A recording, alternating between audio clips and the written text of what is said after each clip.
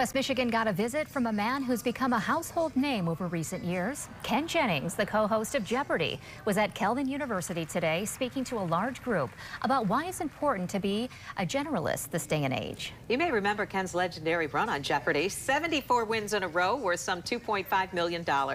Jennings says being a generalist helped him achieve that milestone. Jennings spoke after uh, Jeopardy's position after all these years and why it remains so strong. Jeopardy's in a unique position because it's, uh, it's watched kind of universally. You know, you know, it's popular with young people, old folks, red states, blue states. So Jeopardy's kind of this rare arena where America still comes together. And the thing I love about it is Jeopardy is the TV show where facts matter, you know? You can go on Meet the Press and get away with 12 lies. On Jeopardy, the fake news is absolutely not going to cut it. Like, we're in an arena where knowledge and expertise matter. Jennings was announced as a permanent co-host of Jeopardy alongside Mayim Bialik in July of last year.